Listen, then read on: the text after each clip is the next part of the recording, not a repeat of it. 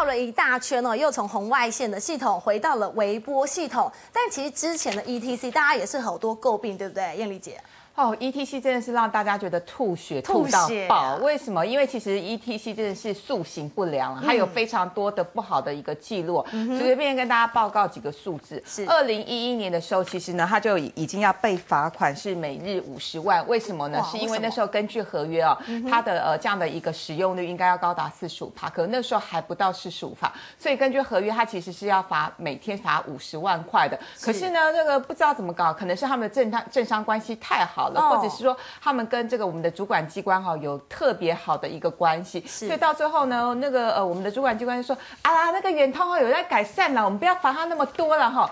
哎，好奇怪，那么好讲对我们民众就不是这样啊。对，艳丽姐，你通常接到罚单，你有去说，哎，我不是故意的啦，可不可以让我不要缴？有这种东西吗？哎，我当场就会祈求警察哥哥、求警察弟弟了，请他们不要帮我开红单。但通常他们只会搬起一张你说，你赚那么多，你当然要缴钱。奇怪，我赚那么多，那远通集团没有赚的比我多吗？我才不相信了。总共积欠多少钱呢？呃，你说谁？远通。远通，远通呢？其实二零呃一一年的时候，我刚刚说每天是罚五十万嘛。那其实到二零一二年的时候，他还是没有达到这个 ETC 的门槛哦。是。那所以他的违约金应该要罚二点二亿，可是还是没有罚。那到了二零一三年，他还是没有达到所谓的年使用率要高达七成的这样一个门槛跟标准。是。所以呢，他应该被罚的金额是高达四点零四亿元。但问题是，远通就说啊，没有啊，这个合约虽然当初是这样签，可是呢，这个环境不一样，我们有在。努力啊！所以远通到后来他还是拒绝缴这笔金额，拒绝可以拒绝啊！我就觉得很扯，为什么远通可以拒绝缴呢？可是我们看一看，我昨天看到调了一份新的数据哦，因为其实这几年哦，民众因为误闯 ETC 的民众哦，被处罚的金额高达七亿耶！我们民众每一个都乖乖缴钱哎，太夸张了！为什么远通可以不缴钱，我们就一定要缴钱呢？政府的标准到底在哪里？可是他好像是说，因为他有改善的方案，所以可以不用缴。那方案是什么？他有改善吗？我想请教他的改善的方案到哪里？他如果真的有改善的话，为什么我们到现在我们会被重复扣款？然后呢，刚刚又提到这么多的一个相关的一个案例，大家都觉得远通就是在搞鬼嘛？我这点我要补充一下，我也是觉得他的改善案例很奇怪。他就之前红外线换微波，换微波就是改善，那为什么他一开始不用微波？一开始其他对啊，一开始用微波就好了，都搞不清楚在干什么。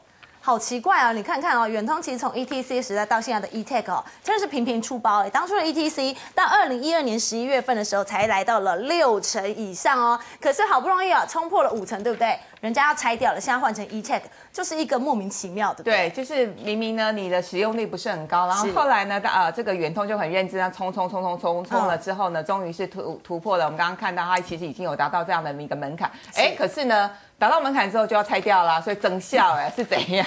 就是一个重复建制嘛。对对，博兴哥，现在大家有疑问了，听来听去好像这个观感不是太好。eTag 到底要不要装？我们先来讲讲看哦，安装有什么样的优缺点？哦，当然安装有它的优点嘛，就第一个环保嘛，是，然后再来就是呢，它可以节省那个交通公路的塞车时间，因为我们常常知道塞车是在那个所谓的收费站前面会塞车，嗯，那因为它有这样的 eTake，对不对？它变成说，呃，我可以时速一百公里、一百一十公里直接开到目的地，就可以解答塞车，那环保也是一个部分。那还有就是呢，呃。呃，就是我们应该是什么？就在高速公路上面的我们的车的耗损部分。对，对，我们这车子在，如果急刹车或是开车，也是有耗损，它的耗损部分。缺点嘞？呃，缺点的部分哦，缺点部分就是第一个嘛，为什么九折跟没九折什么差别？对，我真的搞不清楚。还会被现在都一样啊？对啊，都搞不清楚啊。但而且你看哦，我今天安装它有优点，那我不安装也有优点呐。不安装有什么优点？我不安装一样享九折啊。嗯。而且我不安装还有 VIP 的服务。哦，为什么？就是我不安装，对不对？你要人工帮我处理。对我安装，你电子帮我处理。对啊，好像不。安装比较高级耶？怎么会这样子搞？到最后不安装反而比较好？完全不能够理解。所以燕妮姐身为这个消费者哦，我们就们觉得很奇怪，一大堆问号啊！我反而没有安装，我福利还更多啊，这怎么回事？对，其实我们来看一下 eTex 的费用，目前看起来问题是一箩筐，所以大家要注意很多很多相关的事项啊。比如说你扣款失败，你要补缴手续费的话，远通门市说啊，那就就来处理呀，所以你就来缴啊。那我们到我们的门市的话，就免手续费，哎，这合情合理。是，可是我一定要骂，而且我从远就是这个 eTex 上路的第一天，我就在有台的节目拼命骂到底的，就是说，你为什么便利商店去缴钱一笔还要收五块钱的手续费呢？我都缴钱了，我还要收手续费。这个很扯的原因是。一华，你想想看，我们今天不管是信用卡的账单，或者是呃其他的水费电费，我们去便利商店缴钱，请问我们有再多缴五块钱或十块钱手续费没有嘛？因为这本来就是你集团呃你这个任何收你的一些服务的的时候，你本来就就就有一些相关的成本产生，可是你这个成本你不能够转嫁给消费者啊。是，对，那所以其实我现在要呼吁哦，你这个五块钱你赶快给我想办法取消掉，而且还要再再骂了一件事情是，远通当初说啊。那个我们的门市啊，至少会有两千个据点啊。拍谁？现在几个？一百多个，一百多个离两千个差很远呢。你是嫌我们数学不好吗？对不对？差好远哦，差很多。所以你起码要把这个相关的一些呃，就是我们刚刚讲的据点，你要赶快把它扩建好，不然这样民众才会觉得更方便。好，第二个扣款失败的作业处理费哦，就是说如果说哈，你的扣款失败的话，第一次啊，这个圆通他会寄平信到你家，嗯，那其实就没事，你就赶快去缴钱。那第二次你还不缴钱的话，他就会寄挂号，寄挂号的时候，你就要收取五十块钱的这样的一个作业的一个处理费用。他寄挂号给你，你要付钱呐？啊，啊，不是。挂号费不用付钱，但是你你拿到这样的一个信件之后，你要去找钱，然后就会产生所谓的作业处理费五十块钱。五十块还有作业处理费。对，这五十块钱不是挂号费，而是作业处理费。怎么一找到机会就要 A 钱呢？对你讲到重点，一找到机会就要 A 钱。所以为什么远百集团，然后远通集团今年呢相关的集团呢可以加薪三到五趴？是不是因为这些钱都从我们身上 A 过来的？哇，真的什么东西可以用。好，那赶快把它讲完。除值方法，远通门市。是免手续费一样嘛？便利商店一次五元手续费又要五块，大家不要觉得五块很少好不好？扣十次就五十块，五十块可以买个国民便当哎。好，查看余额，你可以上网或者是便利商店查。其实我觉得对一些年纪比较大的伯伯啊、叔叔阿姨们不是那么方便啦。这点我一定要抱怨一下，不是每个人都会上网。有些人开车，很多人可能是五十岁、六十岁，你教怎么上网？啊，有的会说我有 A P P 啊，到现在 A P P 还不能用哎。哈，对啊，远通的 A P P，我用 iPhone，我在今天对不对？在出门前对不对？我用 iPhone 看我的有的 A P P 还是不能看呢？是，那我就不能理解，那你说的便利在哪里？怎么会这么这么多的不方便的地方啊？真是扰民哦！但另外呢，民众，我们来帮民众消费者把握一下这个自己的权益哦，因为我们好多问题要问。如果现在我的余额不足了，我里面有三百块，可是我要被扣三百六十块，我可以直接把这个不足六十块直接去超商来缴现金吗？博清哥，可以啊，就是你如果说有余额不足的地方，对不对？你只要去超，就是他。